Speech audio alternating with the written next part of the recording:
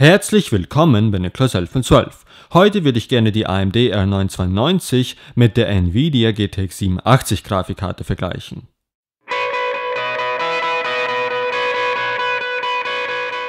Zuallererst muss ich sagen, dass es hier ein etwas unfairer Vergleich ist, da die R992 deutlich billiger als die GTX 87 ist, doch die Leistung sollte vergleichbar sein und außerdem haben viele Leute um dieses Video gebeten.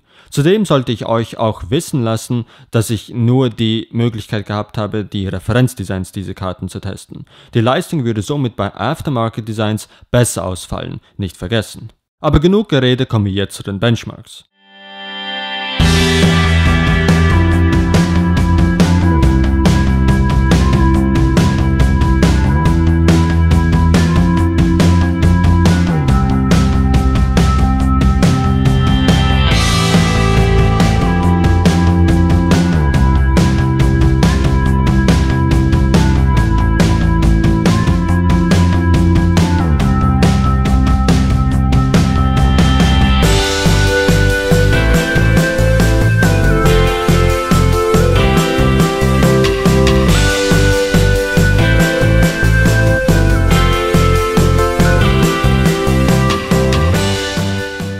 Also gut, diese zwei Karten sind richtig toll, muss ich sagen. Aber dieses Mal ist es richtig, richtig leicht, einen Gewinner zu wählen. Es ist definitiv die AMD R992. Sie kostet weniger als die Nvidia GTX 87 und bringt trotzdem genauso viel oder sogar noch mehr Leistung in gewissen Fällen.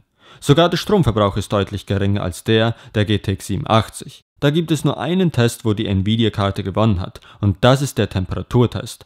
Die AMD R992 erreicht maximal 95 Grad Celsius, wie auch die 290X. Die GTX 87 erreicht hingegen 83 Grad. Nur muss man halt beachten, dass dieses Problem bei Aftermarket Designs behoben ist. Also ganz klar ist, wenn man sich nicht entscheiden kann, ob man die R992 oder GTX 87 nehmen soll, dass man zur R992 greifen muss, wenn man auf das Preis-Leistungs-Verhältnis achtet, was offensichtlich hier bei AMDs R992er viel besser ist. Trotzdem ist es am Ende eure Entscheidung und nicht meine. Ich hoffe, ich konnte euch irgendwie bei der Wahl behilflich sein.